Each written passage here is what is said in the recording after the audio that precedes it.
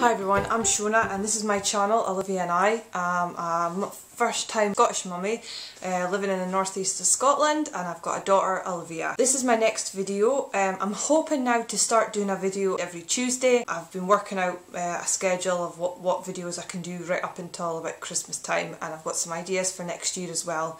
But if there's anything you would like, um, please let me know and I will um, take note. Today's video is about newborn must-haves. Um, my daughter is four months old and so I've had a few months to sort of think what has been the most required items um, since having her. You know, the items that I really don't think I could have lived without.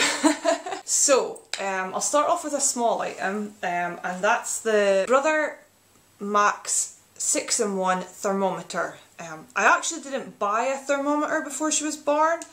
I, I guess it's sort of like you think about all the things you've got to buy, all the main stuff like a pram and a car seat and you know a, bas a Moses basket and crib and all the clothes and that but I just didn't quite enter my mind to get it. I think I kind of was in the back. When it actually came to our eight week, well our first jabs, the health visitor told me you know that their temperature can flare so I thought I really need to get a, ther uh, thermometer before she gets her um, eight week jabs. So I'd seen um, one of the other uh, YouTubers uh, review it and I thought it was a really good idea. So basically you just point, um, point it at your baby's head and you press the smiley face and that basically um, projects the temperature that they're at on their head and it also can do the room temperature, it can check the bath, you know, food, you know, it's so versatile. It also uh, stores, um, if you're keeping an eye on your baby's temperature and you want to,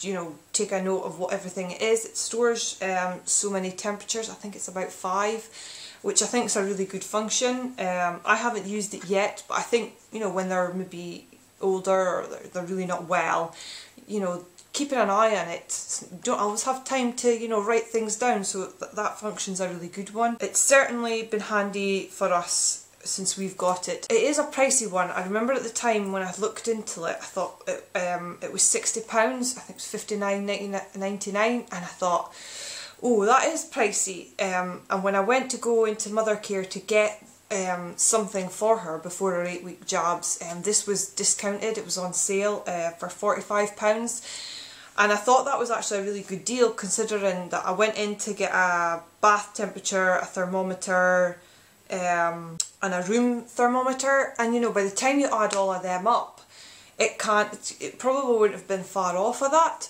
so I thought, no, we're going to go for it. And it's, honestly, it's used most days because we use it to check the bath, we check her temperature if she's not just feeling great.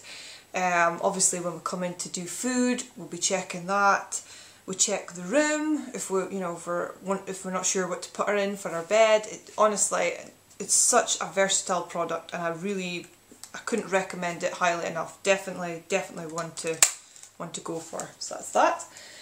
The next product is um, not so much a product itself, but more a, I suppose you could say like a service. When she was born and we tried to get her into things like the pram and the Moses basket, we had a bit complete fail and someone had told us about white noise or I'd researched it or found it online and I was like, let's give this a shot, see how it goes. And we downloaded an app called the Sound Sleeper app and it's now on our both our phones and on the iPad and we also bought this bear, um, which is the Whisbear. I'll link all the items in the down bar below um, so you can find them if you're interested in them. Um, this was the first thing I ordered when she was born to try and help her sleep because I thought maybe the, the noise, you know, she was obviously used to a lot of noise in the womb so maybe something like that would help her relax, help her sleep um, in various places like the pram or the Moses basket. And it's quite a handy thing because it's got magnets it clips on it can clip onto the side of the the um, pram or the Moses basket or the cot. Um, we've now got it on our cot bed. Um, it stays there for night time and it's literally as soon as we go to bed it's on. Um, and it lasts for 40 minutes um, and then it fades out and then if the if she cries it will come back on for an extra 20 minutes. So it's a really good a good thing. Um, and it is obviously used every night. In terms of white noise, has been an absolute godsend for us. I mean, we literally, as I say, have it on both our phones, we have it on the iPad, and we had the iPad in our Moses basket, and we have it in the crib now. Um, with the white noise on it. It sounds insane, but it's what's worked for us. Obviously, it's not in a way where she can get to it, um, and at some point we'll, we'll have to stop putting it in, but it's it just helps her sleep, obviously. Um, I've seen myself trying to shower to sleep, my phone's in my stuck in my bra, you know, anything to try and help her just settle and get to sleep when she's tired but fighting it. It might not work for every baby but it's certainly worked for us and I'm sure it might would work for a, a lot of other people as well so definitely one to consider um, if you've got a baby on the way have a look into it. It's the Sound Sleeper app we've got. The next product is a feeding pillow. Now obviously I breastfed and I was lucky enough to get this um, from a friend. Uh, she didn't use it so she handed it to me um, and it's been an absolute godsend again.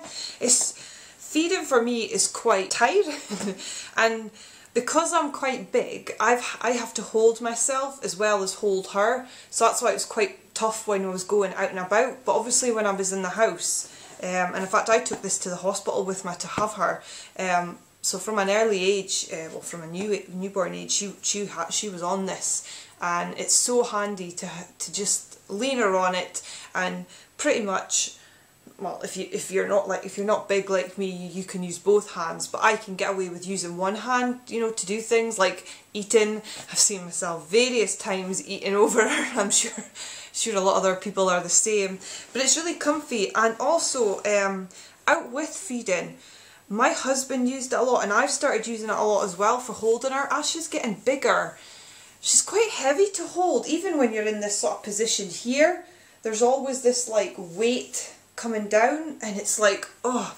But if you kind of jam yourself in here with her there and you can kind of lean your arms on this, it's so much more relaxing, especially when they're sleeping for, you know, hour periods at a time, you know, or when they're newborn, they're sleeping for lots longer. They're not that expensive, you know, you can probably get them from your local supermarket. I'm sure Amazon has various ones. This is a Comfort Harmony one. If I can find the link for it, I'll, um, I'll put it in the down bar. But as I say, definitely really, really good for even just having them sleep in your bows. Um, I actually have had this off, this cover off and washed it because uh, it was dirty because there was quite a few food items spilt because uh, trying to eat with your left hand when you're right-handed was not always easy but um, obviously milk and that, you know, a few things uh, leaking out on it but yeah definitely, definitely worth something else even if you're not feeding. Um, the next product um, it's not really baby related, but it's Vanish Gold. It was my mum that recommended this uh, a few weeks into uh, Olivia's life when we had various items of clothing, dirtied with nappies obviously, and um, she said, oh, the best thing to do would be to get some of the Vanish and either steep it in water for a long period of time or, you know, you can sort of rub it against it and then put it in the wash so it's really both of the items I do for. Um, I have a car seat cover which has had a few um, stains on it and I'm always a bit wary of washing it in the washing machine. So what I've actually done is um, it comes with a little scoop which has um, knobbly bits at the bottom. So once you mix up water and the, the powder, I just put it on top and then rub it against the, the material and that has actually worked on the three times that she's she's uh, made a mess of it. So I don't have to actually go and put it in the washing machine. The stains come out and I put it in out in the you know the washing line just to dry out and it's perfect. Also numerous clothes especially the last few weeks we've had issues with you know changing the formula we've had teething nappies um, we've had nappies obviously too small. There has been so much clothes um, just wrecked and I mean like properly like covered and people always tell me oh you know I just cut them off and bend them but um, I like to try and keep some of them especially considering some of the clothes um, are really good clothes um, and maybe have only been worn for the first time uh, are clean on. So I always, most of the time if it's clothes, I steep it in this. Um, usually it says about four to six hours, but depending on when I get around till it next, sometimes it can be up to, to a whole day. Um, I kind of just leave it in the sink, I let it steep, and then once I'm putting on a load of washing, put it in, comes out. I would say 90% of the time they come out. There's a couple items I've maybe maybe needed to do again, um, but no, so far I've managed to get all the stains out. Um, and another tip someone told me, uh, another mum, was that the, the sun, the UV rays from the sun um, actually help get rid of stains. So if you've got a, a load of washing and a couple of items have got stains on them, get them out on the line and let the sun beat down on them and you know it'll take it away and it does. I um, I remember putting out a vest that had uh, was was messy. That was the first item. I'd washed it and it hadn't come off. And um, I just hung up on the line and thought right next when I take it in I'll I think I was going to give it to my mum. And then that's when my mum recommended the varnish, uh, Vanish and when I took it in I was like where's the stain? Did, did, did I see things or but no it was it was absolutely gone. So as I say the sun rays do get rid of stains um, I'm sure not them all because some of them are quite bad but um, uh, definitely, definitely works.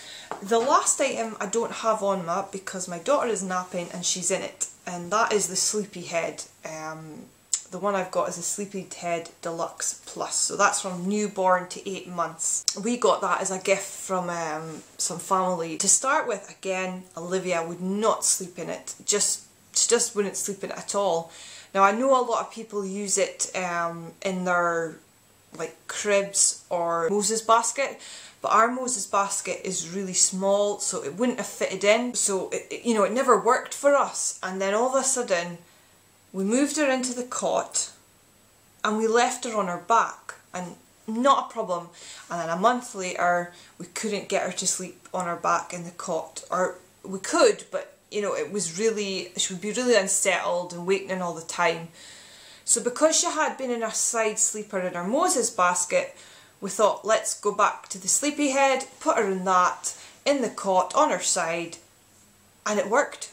And that's been about a month and a half, month, month and a half now, and she's in it every night, she naps in it, she puts on, she goes on her side, she might end up on her back, but to get her sort of sleeping and settled, she likes to be on her side.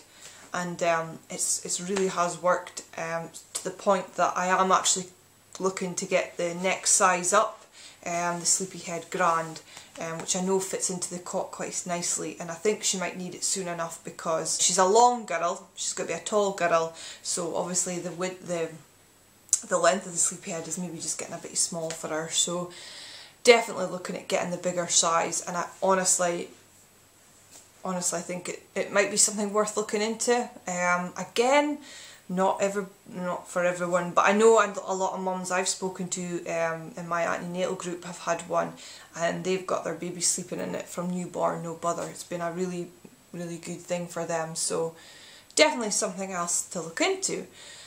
So that's all my products. Um, I hope you liked this video. Um, give it a thumbs up. Um, please subscribe. Uh, we'll hopefully see you again soon. Bye!